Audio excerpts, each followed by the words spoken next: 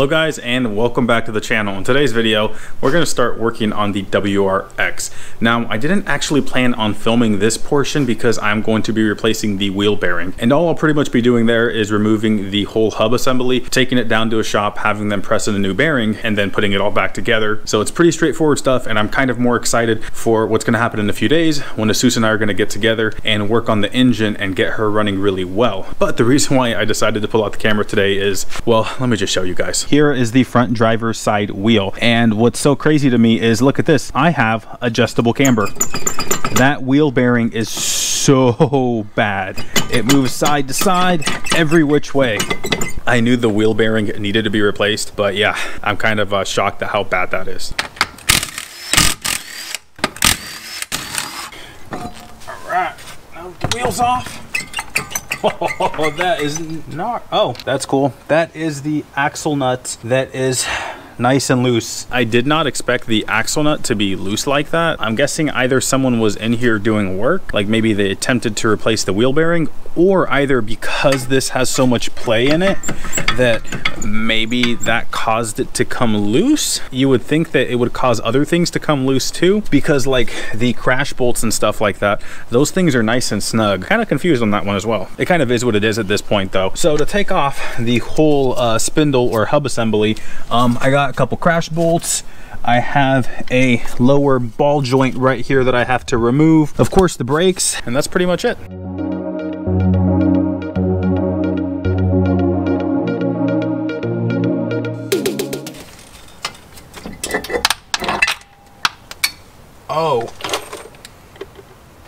Okay. Like this thing is just so disintegrated and then look at you can see all the ball bearings there.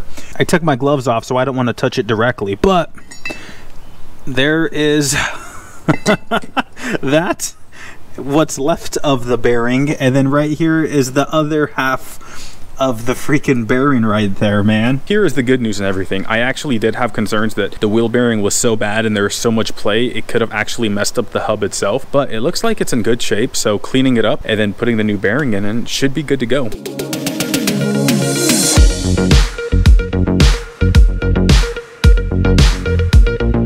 I got the whole spindle out over there. As I'm kind of looking around, I think these are actually springs. Based off the green tint there, it makes me kind of think that they may be like Tein or something like that, but I'm not certain. They kind of look black up there. But anyways, this car is lower than stock, that's for sure. Everything else is pretty much kind of how I expected. It's nice and worn. I probably shouldn't say nice, but everything is kind of worn. Luckily, nothing is like catastrophically bad. Considering the whole wheel bearing was in such rough shape, I kind of expected other things to be messed up, but nothing really is. The only thing that kind of came as a shock was that I think earlier I said that all the bolts were tight. Uh, that's actually wrong. All of the bolts were super loose, which is not really any surprise because that had to have been vibrating everything really bad. And the wheel bearing was in such rough shape that it honestly could have caused an accident. That was that was very, very dangerous. Luckily though, we are going to be breathing new life into this car and uh, it's going to be a lot of fun. I did make a little bit of a mess right behind me, so I'm going to go clean that up and call it a day. We will pick this back up again in a few days when me and Jesus have time to finally work on that engine.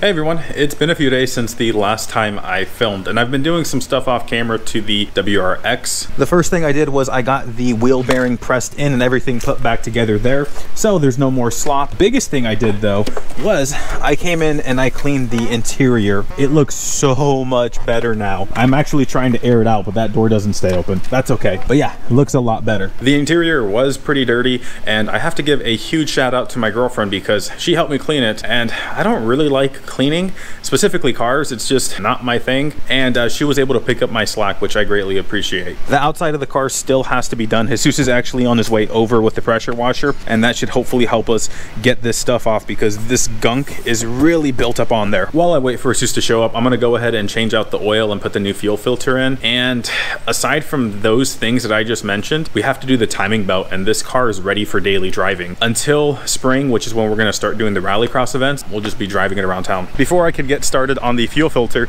Jesus happened to show up. You have to see the work that Amy and I did. It was mainly Amy though. Jesus Christ. I know, doesn't that look amazing?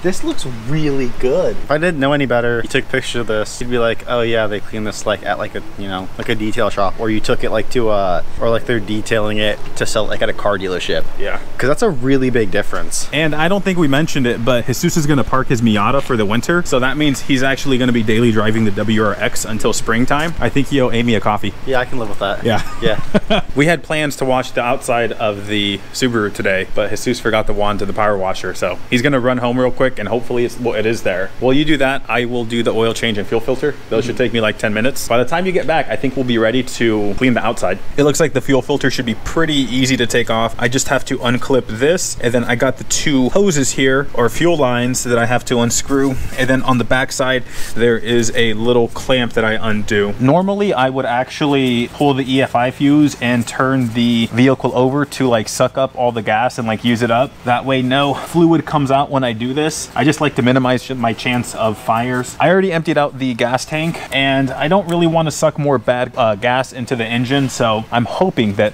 minimal fuel comes out.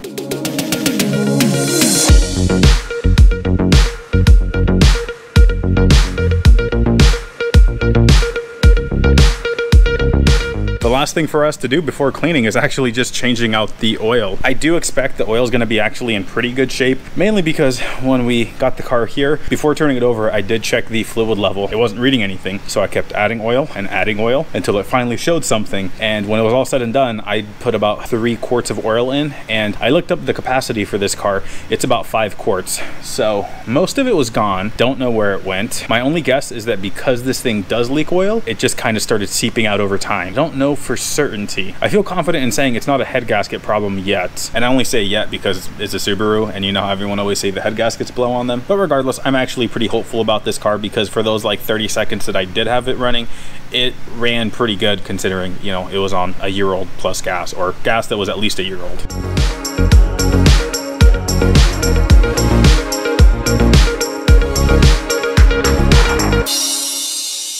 I think we're on to our favorite thing, and that's actually power washing cars. It's very satisfying to see the grime come off, and we're only gonna power wash today because we're honestly feeling lazy and we don't feel like doing the full wash. I feel like we just weren't meant to wash the WRX today, and let me show you why. The hose to the uh, pressure washer sprung a leak. At the very least though, we got the interior, so we can just get the exterior another day. I think the big question is, do you wanna go drive it? We have the car insured, it's registered, it's legal, man. Take it around the block. Yeah, yeah. Yeah. This, we're gonna go take it around the block. This will be our maiden voyage with the car. We have to put in the battery, but other than that, she should be good. We are going to start the Subaru up.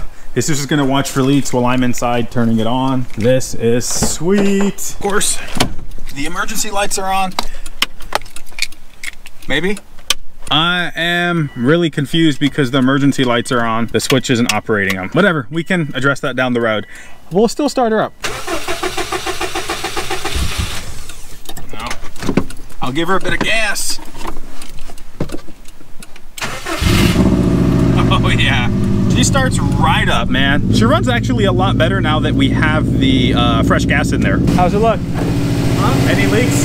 Not that I can see. We aren't finding any leaks besides on the passenger side valve cover. Most of it's dissipated already, but there's a little bit of smoke because the valve cover right here was leaking onto the hot exhaust. Other than that though, it sounds like it pretty much should and what we would expect. Yeah. Uh, a little bit rough, but I think plugs and a few other minor maintenance things, and she's gonna be good. It's so weird though.